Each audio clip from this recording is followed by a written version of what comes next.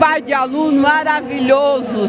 Aliás, todos são, né? Qual que é o seu nome inteiro? É a Laís, a Lara e a May.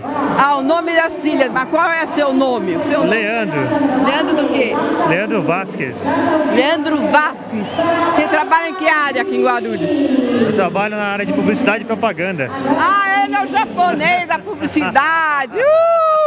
Japonês não tá bom sem nó, não. Adoro a colônia japonesa. É. Aliás, todas, mas eu sou muito vidrado em japonês. Arigato, no?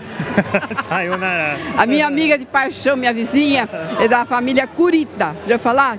Já ouvi falar sim. Então tem sim loja de jeans na 7 de setembro. Sim, Olha, sim. foi um prazer conhecê-lo. A festa tá maravilhosa, com gostando? certeza.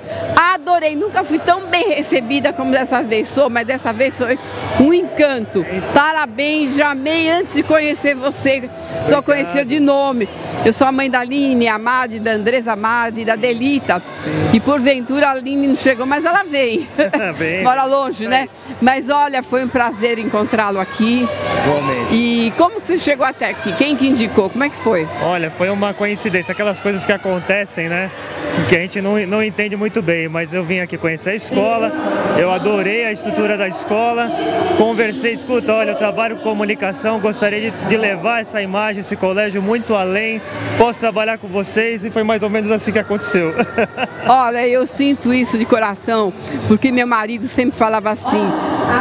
Quando pensar em educação é o colégio da Yamade, que ele sempre investiu em esporte e arte. Isso é tudo unido, esporte e arte, que a criança gosta ou de arte ou de esporte.